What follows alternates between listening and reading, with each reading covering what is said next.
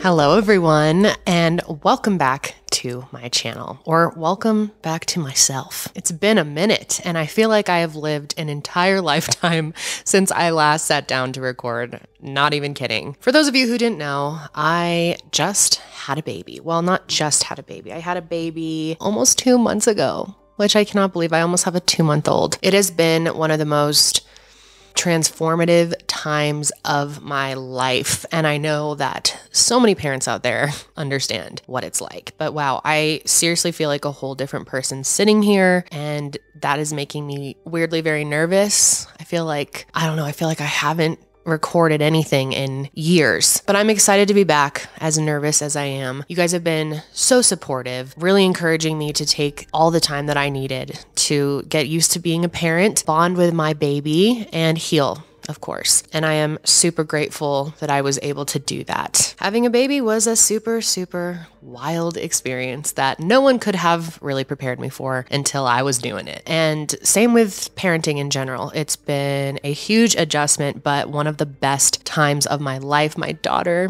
is amazing. I love her more than I can put into words. Our daughter's name is Holly. Um, I'm not sure if Josh mentioned that in the video that he did here on my channel, which also thank you guys so much for being so open to him doing a video. I think he did a really good job and you guys really liked it. So that's awesome. But yes, our daughter is named Holly. She is just everything. She's so cute. She's so funny, so sweet, so loving. And this has just been the best time. I've been really, you know, soaking in all the cuddles, all of the little moments. You know, it's kind of crazy that they'll never be that way again. So I've just been soaking up every minute, enjoying it all, and adjusting to being this new version of me, being someone's mother.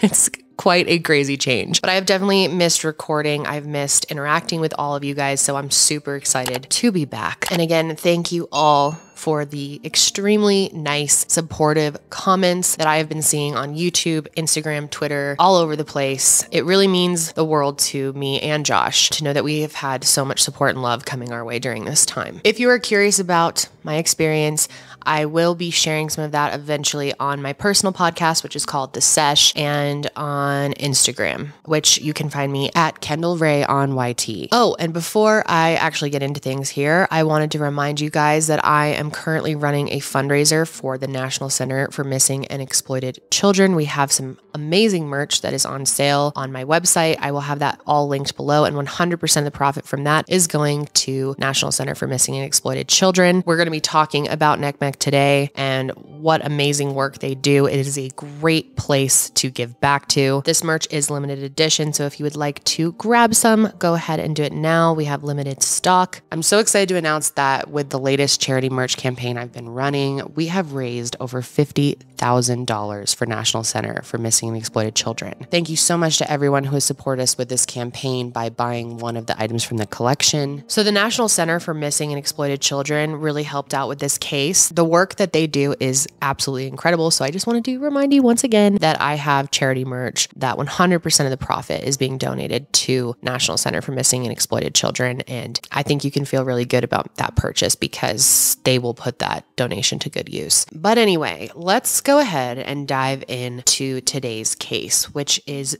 totally fascinating. I have wanted to talk about this since it caught my eye about three months ago, and I'm really happy to be sitting down to talk about this today. This case is still open. However, there is definitely a happy ending here, and that's rare in true crime. Cases like this and the investigative work that goes into them really inspires me, and I think you guys are going to find this case just as interesting as I did. Weirdly enough, we are going to be talking about a missing baby today, and even weirder, her name is Holly which is my daughter's name. So this kind of hit home even more so. But we're going to be looking at genetic genealogy and how impactful it can be on cases like this. Today, we're going to be talking about baby Holly Clouse and how she was found 40 years after she went missing. So the story begins in New Smyrna, Florida, with Holly's parents, Harold Dean Clouse Jr. and Tina Gail Lynn. And the two of them fell in love in the 70s. They were very young when they fell in love, really just a couple of of teenagers and they were eager to start a family and start a life together. There isn't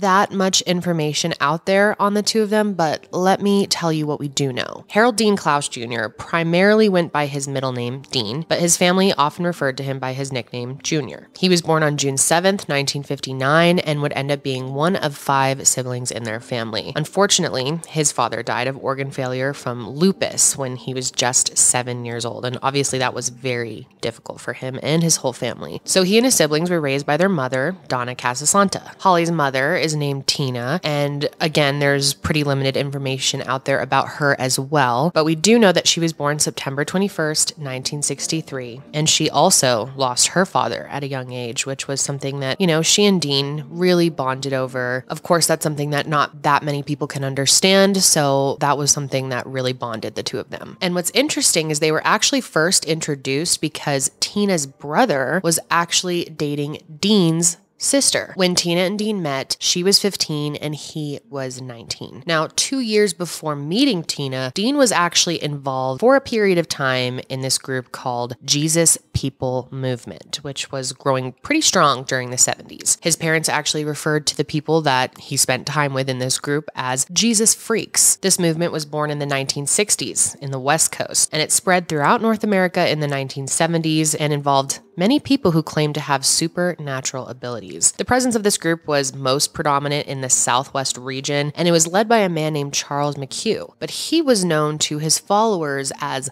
Lightning Amen. Charles, of course, claimed to be the reincarnation of Jesus Christ himself. And members of this movement would actually take on the last name Christ. So Dean was known to spend time with this group and known to spend time with people who called themselves brothers and sisters. He actually left home to join this religious group, and his family just saw it as a cult. They were very worried about him being part of it. But Dean wasn't in this group for very long. Eventually, he called up his parents and asked for money so that he could return home. And when he returned home, that's when he and Tina connected. And on June 25th, 1979, the two surprised their families by going to the Volusia County Courthouse and walking away as a married couple. And both of their families totally supported them as a couple, supported their marriage, and were very happy for both of them. And Tina's brother actually did end up marrying Dean's sister, and that was even more exciting. And they would all spend time together. So then, less than a year later, the two of them welcomed their first born child. On January 24th, 1980, Holly Marie Clouse was born. Dean and Tina, of course, loved their baby girl and were so excited to spend their lives with her. Their families also loved baby Holly and were so excited to see her growing up. She was an adorable little girl. She was a quick learner and she already had a ton of personality. She had reddish brown hair that was very similar to her mother's hair, and the two of them just loved her so, so much. But just a few months after Holly was born, Dean and Tina decided to pack up their belongings and move to the Fort Worth, Dallas area. Dean had actually received a job working for DR Horton, which is a home construction company, and they decided that it was best for their family to you know, see this opportunity out and make the move. Dean was a really skilled carpenter, and there was a huge home construction boom going on in Texas at the time. So they were hopeful that he could really build a successful career. However, it wasn't as easy as they had hoped it would be. To make their move from Florida to Texas, they borrowed Dean's mother's car, which was a 1978 red AMC Concorde. He came to me and said, Mom, I can make more money and he can give me a year round job. And obviously, Florida to Texas is a pretty long drive for a family who has a newborn baby. Honestly, I cannot imagine how difficult that would have been. But they made it. They arrived in Lewisville, Texas, which is a city just outside of Dallas, and they stayed with a cousin until they were able to save up enough money to afford their own place. This was by no means a permanent solution, but it did help them get their feet on the ground in this new place. I mean, after all, the two of them were 21 and 17 years old at the time with a new baby. In the first few months of their new lives in Lewisville, Lewisville were apparently really great. Tina wanted to stay in touch with their family, so she frequently mailed them letters and included photos of Holly as she was growing up. She was constantly, you know, updating them on all her milestones and how they were doing. And this made it a little bit easier for their families. Of course, it was really hard for them to be separated from Tina and Dean, and of course, Holly as well. The letters from Tina came in pretty frequently. And when they stopped suddenly in October of 1980, both of their families thought it was strange, but figured, you know, she must just be busy with her new life. They didn't necessarily have a reason to suspect that something was necessarily wrong. So they just kind of sat tight and waited for a letter to eventually arrive. Now, the exact date is a little unclear. I mean, this case definitely has some foggy elements, especially because it has been so long, but either sometime towards the end of 1980 or the start of 1981, the Clouse family actually received a call from a woman who called herself Sister Susan. Seemingly out of nowhere, Sister Susan told them that Dean had decided to join this religious group that she was a part of, and that Tina had joined as well, and that they had decided to give away all of their possessions. And that included the 1978 red AMC Concorde that Donna had let them borrow. So, this Sister Susan person tells them that they would volunteer to drive the car back to them, but they wanted a $1,000 in return, which is quite a bit, especially back in the 80s, early 80s. Donna knew that something was weird and that that was a lot of money, but she said yes. And they agreed to meet this Sister Susan person in a few days at midnight, of course, in the parking lot of the Daytona Speedway racetrack. So obviously, Donna was very skeptical about this call and the whole transaction. So she actually contacted the local authorities about Sister Susan and told them where they would be meeting to hand off the money for the car. And I will say, given the time period and, you know, Dean's past with religion, it wouldn't be that far fetched of an idea to his family, maybe that he really would join a group like this. She figured it could be a possibility, but she said that something about this woman gave her cause for concern. So when it came time for them to meet up, Sister Susan, along with two to three other women and possibly one male, met the Clouse family at the Speedway and returned the car in exchange for the $1,000. Local authorities were aware of what was happening, but because the car did in fact belong to They ultimately decided that there wasn't anything shady going on. If this woman had met them with some random car, it would have caused a bit more concern. But this was Donna's car, and Sister Susan's story that Dean was getting rid of his possessions, you know, aligned with her returning it to Donna. And like I said, some of the information in this case is pretty unclear at this point. In my research, I did find someone mention that Sister Susan and the people with her were temporarily brought into custody, but no police report has ever been located to actually corroborate that. In late December 1980 or early January 1981, the families of Tina Lynn Clouse and Harold Dean Clouse received a phone call from someone identifying herself as Sister Susan, who explained she was calling from Los Angeles, California, and wanted to return Tina and Dean's car to their family. She further stated that Tina and Dean had joined their religious group and no longer wanted to have contact with their families. They were also giving up all of their possessions. Sister Susan asked for money in exchange for returning the car to Florida where the family lived. The family agreed but contacted the local authorities about the situation. The family agreed to meet Sister Susan at the Daytona racetrack in Florida. The family described meeting two to three women and possibly one male and once again, these women were wearing robes and to be, appeared to be members of this religious group. The police purportedly took the women into custody, but there is no record of a police report on file that has been found as of yet. Given the age of this case, that is common. We're still on the hunt for that police report. The return car belonged to Dean's mother and was, in fact, the car that they had in their possession. So, as more time passed, more and more concern kept building up for the Clouse and Lynn families. There was no communication coming from Dean and Tina, and they just felt like that was very off. They couldn't understand why they would just run away like this and take Holly out of their lives. So both families attempted to file missing persons reports, but no one would take them seriously because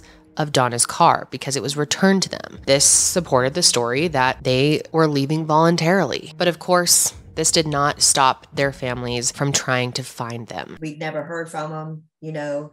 We put out feelers every way we do mm-hmm. how. I was on the freeway once and the young man passed me and it looked so much like my children. But little did their families know there was actually remains of a young man and woman that were found in January of 1981, January 12th, 1981, actually. And this was right around the time that the car was returned to Donna, but police never made the connection. And unfortunately, they would not make this connection that the bodies actually belonged to Tina and Dean until 40 years later. So, for 40 years, the Clouse and Lynn families had no idea what happened to their loved ones. These unidentified bodies, which are referred to, I'm sure as most of you know, as Jane and John Does, were found 100 feet off Wallisville Road in Harris County, Texas, which is near Houston and more than 250 miles from where they were living at the time. And a dog actually found their bodies. This dog came running out of the woods holding a human arm, and then the the police actually followed the dog back to their bodies. The woman had been strangled and the man had been gagged and beaten. And this is really heartbreaking, but a forensic anthropologist said that it seemed that the man had died while trying to protect the woman and that the woman had died first. And he started referring to them as Romeo and Juliet. And he also believed that they had been dead for about two months before they were actually found. The Jane Doe was described as a young woman or teenager with reddish brown hair. She was brown eyed and had fingernails that had been bitten down. The John Doe was described as a slightly older male with dark brown hair and very thick eyebrows. And drawings of them were constructed to help try to uncover their identities. Now, I'm sure most of you are asking, what about baby Holly? Well, there were no remains of a baby found at the scene, so police didn't even know that they should be looking for a missing baby all of this time. Now, of course, in the 1980s, there wasn't as much technological advancement as there is today to help investigators identify human remains. CODIS, which we have talked about, is the combined DNA index system, and it wasn't established until 1990, and it didn't become operational until 1994. The National DNA Index System, or NDIS, is a program where criminal justice agencies such as the FBI can input DNA profiles. And CODIS is the system with which these DNA profiles are sorted and processed. And the only way that NDIS would have the DNA profiles of Dean, Tina, and Holly would be if their families had submitted it as evidence in a missing persons report, which we know they weren't able to file because the Dallas authorities didn't believe them. The Clouse and Lynn families did what they could with the resources that were available to them. And unfortunately, the system failed them for many, many years. And keep in mind that throughout the 80s, 90s, 2000s, and beyond, their families never knew about the bodies that were found in Houston. And so all they could do was hang on to hope. Hang on to hope that they were out there and still alive and that maybe they would be reunited with them one day. Of course, they could hang on to the hope that they really did join some group and that they just weren't contacting their family anymore. And so that kind of brought them some comfort. Tina's brother truly believed that they really did join a religious cult and they just didn't want contact with their families anymore, which is, of course, heartbreaking. But for them, the idea that they were alive somewhere was more comforting than the alternative. But of course, I'm sure they had constant nagging thoughts about what happened. And not knowing has to be so painful. I cannot imagine. I heard them speaking about how they really have never gotten a good night's sleep during the last 40 years. But finally, in 2011, there was a small but very important breakthrough that would later help identify John and Jane Doe. Harris County investigators got permission to exhume a few dozen unidentified murder victims with the intention of uploading their DNA profiles to CODIS. Now that the program had been around for more than a decade, they were hoping that they would be able to make some connections. But still, they had no luck identifying the Romeo and Juliet bodies that were found in January of 1981. But the system is constantly getting new DNA. So there was hope that maybe someday their DNA would strike a match in the system. And a decade later, in 2021, there was another breakthrough with the help of genetic genealogy. Now, we have talked about genetic genealogy many times. It is actually very controversial, but it can be so helpful in the world of true crime. In criminology and law enforcement, genetic genealogy has even helped solved cold cases.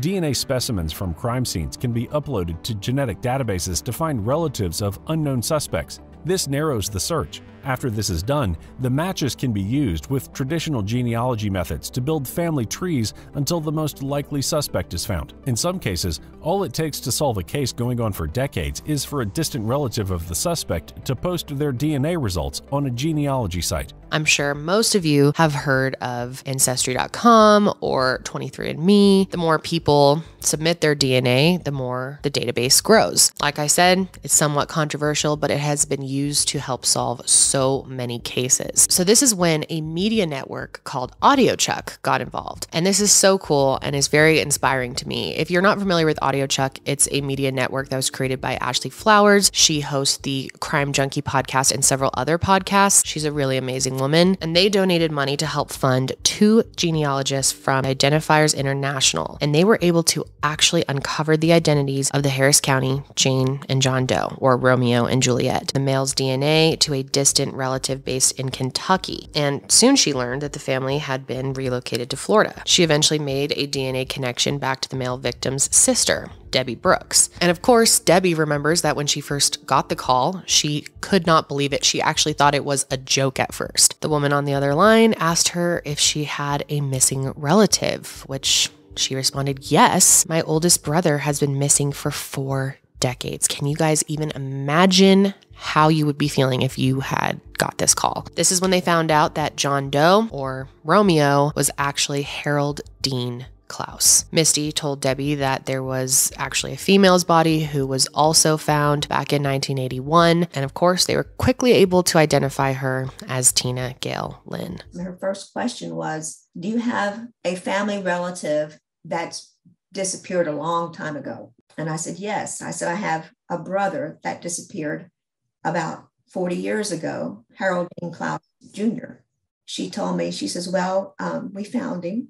He uh, he was murdered. When we did find out the truth, it's so hard to accept because you want to lay it down, but you want him to be okay. But then, of course, Debbie asked them, How about the baby? Did you find the baby? And that just shocked the entire investigative team because they had no idea there was a missing baby. For 40 years, the police had no idea that Romeo and Juliet were actually parents to a young child. And of course, because of that, there had been no efforts made to find baby Holly all of this time. But obviously, figuring out who these bodies belong to was a huge accomplishment. And a press release from Identifiers International on January 14th, 2022, officially confirmed that Dean and Tina had been identified. But of course, it also stated that this case was far from over. In addition to the police's criminal investigation into the murders of Dean and Tina, authorities were also now looking for baby Holly Marie Clouse, who was less than a year when her parents were killed. So the official search for Holly Marie Clouse started this last year, January of 2022. And there were actually many women out there who believed that they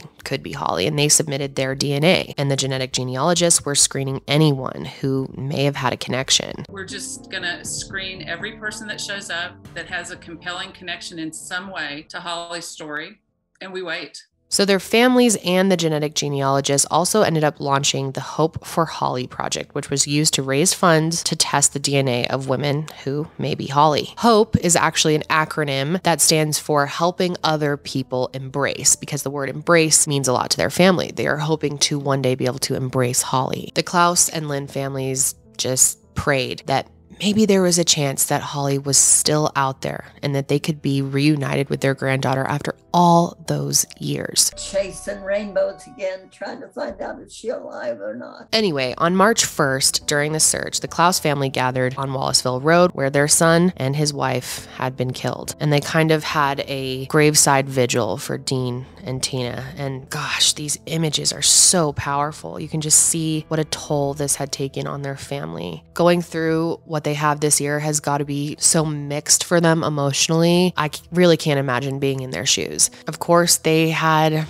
this nagging fear that without any remains found at the crime scene that they would never know what happened to baby Holly. But by the most beautiful stroke of luck, they actually found Holly. The real Holly Marie Clouse was identified on June 7th, 2022, which would have been her father's 63rd birthday. Through collaborative efforts of the Texas Attorney General's Office Cold Case and Missing Persons Unit, the Lewisville Police Department, the Volusia County Sheriff's Office in Florida, the Arizona Attorney General's Office, the Harris County Sheriff's Office, and the National Center for Missing and Exploited Children, I'm excited to announce that baby Holly has been located alive and well 42 years later. Holly, who of course grew up with a new name, is now a 42 year old woman who has five children of her own and two grandchildren. And out of respect for her privacy, I am not going to share more information about her current life as she has chosen to stay out of the media for the most part. And I encourage you all to do the same. But what I will say is it turns out Holly was actually dropped off at a church in Arizona right around the time that her parents were killed. And a group of women actually dropped her off and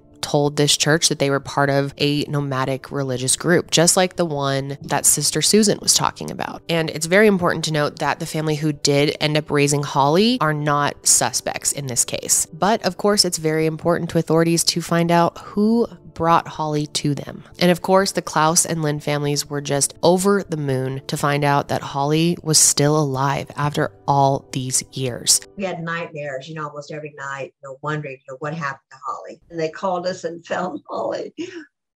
That night, I was able to go to bed. The National Center for Missing and Exploited Children actually helped pay to reunite the families with Holly. Before they actually met, she was able to get on a Zoom call with them. I cannot imagine how emotional that call would be.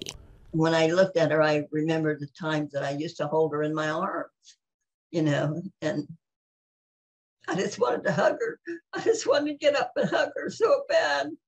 But it was Zoom and you can't. So, of course, there's still a lot of things that we don't know at this point, a lot of things that need to be solved. Of course, investigators believe that this group that had gotten in contact with their family about the car is likely responsible for the murders of Dean and Tina. If they aren't responsible directly, they feel there's a good chance that they know who is. It's possible that Dean and Tina really did get involved in this group in some capacity, but eventually decided they didn't want to be part of it and they were killed for maybe information that they knew that they weren't supposed to know. These groups actually often get involved with illegal things such as drug trafficking. So if Dean and Tina did witness anything, it's possible that the group got rid of them to keep that information under wraps. So to this day, Sister Susan has never been identified by the police. However, they are asking for anyone out there who thinks they may know who this person is or may know someone like her from the 1980s to please get in contact with them. These religious groups often traveled through the southwest region of the United States, and oftentimes women in these groups are seen begging for food in many areas. So the murders of Dean and Tina are still under investigation. Of course, if you have any information that could help authorities to solve their murders, please call the Cold Case Investigation Unit at 512 936 0742